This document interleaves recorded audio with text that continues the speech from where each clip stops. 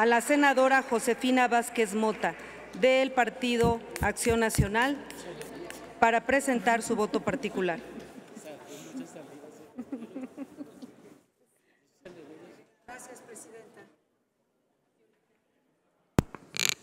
Muy buenas tardes. Gracias, Presidenta.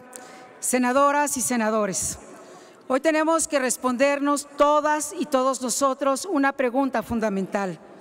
¿Qué país le estamos dejando a nuestras niñas, niños y adolescentes? A esto es a lo que habremos de responder hoy, esta tarde y a lo largo de esta noche. ¿Quiénes de ustedes votarán hoy para poner en riesgo nuestros derechos y libertades? para dejar un país sin elecciones confiables, sin educación cívica, sin respeto a las instituciones y con una democracia en ruinas. ¿Quiénes de ustedes votarán hoy para heredarles a millones de niñas, niños y adolescentes un México de pensamiento único al que nos quieren llevar y una obediencia al capricho y al resentimiento de un solo hombre? ¿Quiénes responderán hoy ante millones de niñas, niños y adolescentes por un México que amanece con libertades y certeza en los procesos electorales, pero que en unas horas más, con un golpe de Estado a nuestra democracia y el ultraje a nuestra Constitución, será un México cada día más parecido a las dictaduras que hoy defienden algunos, como es el caso de Nicaragua. Esta reforma electoral que pretende aprobar el oficialismo al costo que sea, está plagada de vicios desde su origen. Lo saben muy bien y lo sabemos todas y todos nosotros aquí. ¿Quiénes hoy están dispuestos a acompañarla y a votar a favor? ¿Cómo heredar un mejor país si con los votos de una mayoría aquí en el Senado se va a avalar? No me vengan con que la ley es la ley. ¿Quiénes de ustedes votarán hoy a favor? Tendrán que dar la cara un día frente a millones de niñas, niños y adolescentes por atentar contra la autonomía del INE, por asfixiarlo presupuestalmente, por debilitar su estructura poniendo en riesgo su capacidad operativa, por poner en riesgo el padrón electoral y de paso también la credencial de elector. Tendrán que enfrentar a niñas y niños por acabar con el servicio profesional electoral, por desaparecer 300 juntas distritales, que son quienes hacen el trabajo de campo, son quienes llegan al último rincón del país para hacer posible que se instalen las casillas y podamos ejercer nuestro voto con derecho, como debe ser, y en libertad. Tendrán que dar la cara, porque hay en esta reforma la permisividad a servidores públicos para que hagan campañas anticipadas, violando las reglas electorales sin poder sancionar ninguna de estas acciones. Habrán de hacerlo por apoyar una reforma regresiva que pone en muy alto riesgo la alternancia política. Pero lo más paradójico de todo esto es que van a destruir al INE, ese INE que reconoció los votos y la legitimidad de la elección del 2018.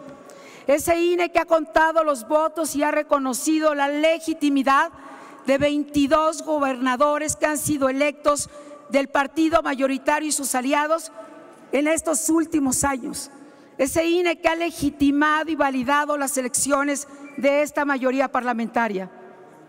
Reitero una vez más, las niñas, niños y adolescentes no tienen partido y claramente con este dictamen tampoco tendrán un México en donde sea posible construir sus sueños. Porque lo digo en voz alta y lo digo fuerte. Un sistema político autoritario destruye las iniciativas ciudadanas, la esperanza, la legalidad y el Estado de Derecho.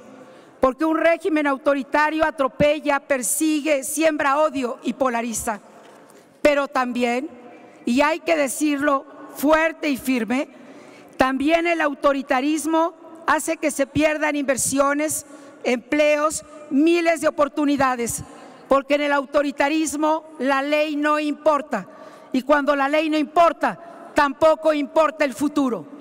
Hoy evoco la memoria de don Luis H. Álvarez, de Berto Castillo, de Maquillo y de mujeres ejemplares de quienes han dado su vida por la democracia y por la libertad. Recuerdo en una gira de trabajo a don Luis H. Álvarez decirme, aquí vivía mi amigo Eberto Castillo, cuánto lo extraño. Entonces se podía hablar entre quienes pensaban diferente. Ustedes saben de mi convicción demócrata, de mi diálogo y respeto por todas las fuerzas políticas. Por eso externo mi gran preocupación esta tarde. Por eso convoco con respeto, pero determinación y valor a que no acompañemos esta destrucción institucional. Este Senado no se puede ir a dormir combinando el verbo destruir. No, no venimos a destruir, venimos a construir y a fortalecer. Sí, si el INE tiene que cambiar, que se cambie, pero no se cambia destruyendo, no se cambia sacando el hacha, se cambia dialogando, construyendo acuerdos, haciendo política, escuchándonos. No se puede elegir gobernar desde palacio a la mitad de esta población y denigrar y despreciar a la otra mitad. No habremos votado por el presidente, pero es el presidente de todos los mexicanos y queremos que gobierne para todos, sin ofensas, sin agravios, sin detrimento. Hoy reconozco la marcha en defensa del INE, que el pasado 13 de noviembre convocó a cientos de miles de ciudadanos y que muchas de nosotras y nosotros decidimos acompañar. Esta marcha, les digo esta tarde, no fue en vano, ni lo será tampoco. Marchamos y acompañamos a la ciudadanía. Lo hicimos para defender al INE. Hoy estamos dispuestos a acompañar a quienes marchen a la Corte para defender la Constitución y también la legalidad.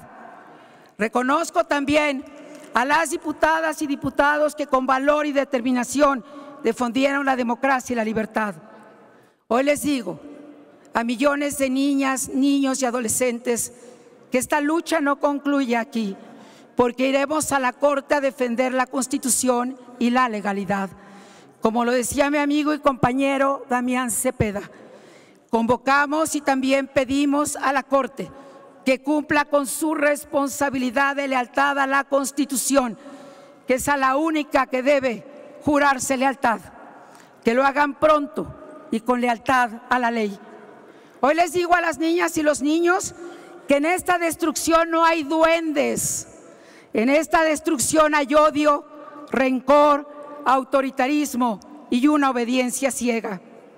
No, no hay politiquería, lo que hay es desprecio al diálogo, a escuchar miles de voces y a gobernar para todas y para todos. Me permito citar a John Stott cuando afirmó, la esencia de la democracia es descentralizar el poder. Descentralizar el poder es proteger a los gobernantes contra su propia locura. Defendamos a México contra cualquier locura. Defendamos a México de las tentaciones autoritarias y centralistas. Defendamos a México de la destrucción de la libertad. Votaré en contra porque es tiempo de defender a México y lo que se ha construido hasta ahora. Todo es perfectible pero no a base de la destrucción. No hay medias tintas cuando se defiende la libertad. O se defiende o se traiciona. Yo, yo los convoco esta tarde porque quiero seguir viviendo en un país libre y democrático. Porque quiero que mis hijas sigan viviendo en este México de democracia y que está llamado a la grandeza.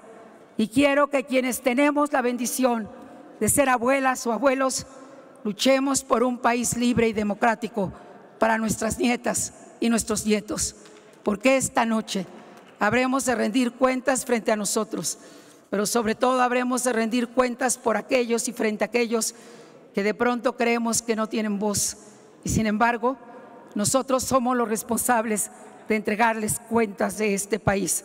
Pues bien, hoy tenemos la libertad, el poder, la capacidad y la determinación de votar por un México libre o por un México esclavo, por una institución democrática o por el atropello a la democracia.